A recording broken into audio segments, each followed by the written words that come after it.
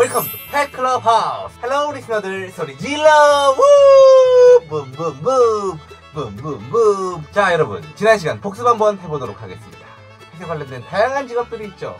일반적으로 아는 수의사 그리고 반려견 행동 지도사 이런 것뿐만 아니라 다양한 직업들이 있습니다. 예를 들면 수의 technician 반려동물 장례 지도사 그리고 사료 시식사까지 자 앞으로도 굉장히 유망하니까 여러분. 많이 많이들 우리 반려동물을 위해 노력해주세요. 자 오늘의 사연 함께 하시죠. 오늘은 50대 남성분의 사연입니다. 안녕하세요. 아내와 아이만 바라보고 반백년을 살아온 가장입니다. 그런데 요즘 마음들 보시오 마음이 허해요.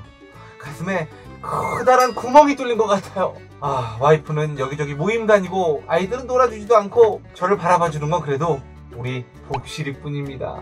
복실아 10년 넘게 가족으로 함께 살아온 우리 복실이 복실이만 생각하면 그 귀여운 모습이 떠올라 지금도 집에 가고 싶다니까요. 그런데 요즘 우리 복실이가 조금 이상해요. 퇴근하면 이 꼬리도 신나게 흔들면서 반겨주던 복실이가 잘 먹지도 않고요. 오랜 시간 그냥 잠만 잡니다. 잠만 자요. 더 걱정은요 앞이 잘 보이지 않는지 여기저기 부딪히고 온몸에 상처가 많이 생겼어요. 가끔 현관문을 열 때마다 굉장히 두렵습니다. 절 기다려주던 복실이가 그 자리에 없을까봐 말이죠. 언젠가 복실이와 이별하는 그런 날이 오겠죠. 하지만 그 전까지 복실이가 행복하고 건강하게 지냈으면 좋겠어요. 복실을 위해 제가 할 수 있는 건 과연 무엇일까요?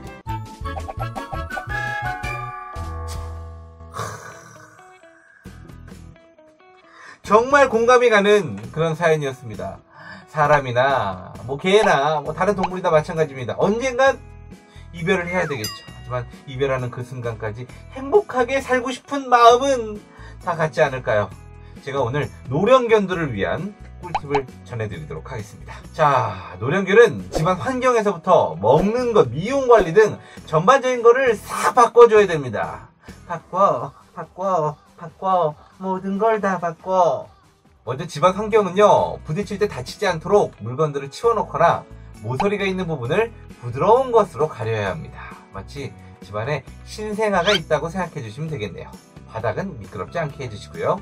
다음은 음식인데 음식 전에 이곳의 확인이 꼭 필요합니다. 사람이나 개나 마찬가지예요. 바로 이빨인데요. 노령견일수록 치주 질환에 걸리기 쉽거든요 치석이 끼지 않도록 칫솔질이나 덴탈 제품으로 이빨 관리를 해주셔야 돼요. 참고로 개들은 침샘이 이빨 바깥쪽에 있어요. 그래서 치석이 바깥쪽에 끼니 양치질하기 싫다고 막 도망가는 애기들 굳이 안쪽까지 무리해서 닦을 필요 없습니다. 자 이제 음식을 알려드릴게요. 부드러우며 칼로리가 낮은 것으로 준비하셔야 해요. 무엇보다 중요한 건 음식의 양을 평소보다 줄여주시고요. 음식도 작게 작게 작게 만들면 씹을 때 편하겠죠? 영양제도 먹으면 좋은데 좋다고 그냥 이것저것 다 먹으면 오히려 다른 문제가 생길 수도 있어요. 그러니 영양제를 선택하기 전엔 꼭 수의사의 처방에 따라 먹이는 걸 추천드립니다. 그리고 빼놓을 수 없는 것 바로 미용인데요. 사실 그래요. 사람이든 개든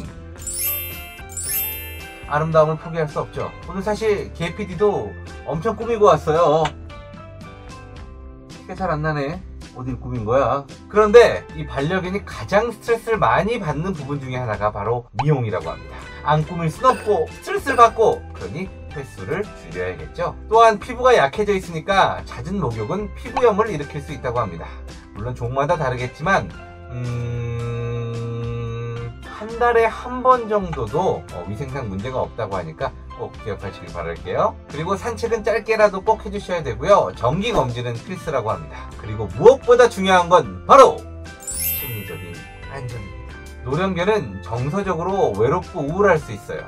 부드러운 목소리로 자주 대화도 해주시고 이렇게 따뜻한 손으로 마사지도 해주면 내 견생은 너무 행복했어. 너무 좋았어. 다음 생에도 개로 태어날래. 라고 생각할 겁니다. 이 세상 모든 노령견들이 웃으며 떠날 수 있길 저 텐디독도 응원하겠습니다. 자, 오늘은 노령견의 환경에 관해 자세히 알아봤습니다. 펫에 대한 궁금증이 생기면 바로 여기 여기 여기 이 아래 자막으로 사연 남겨주세요. 언젠가 안방을 차지할 그날을 기다리며 여러분 안녕 안녕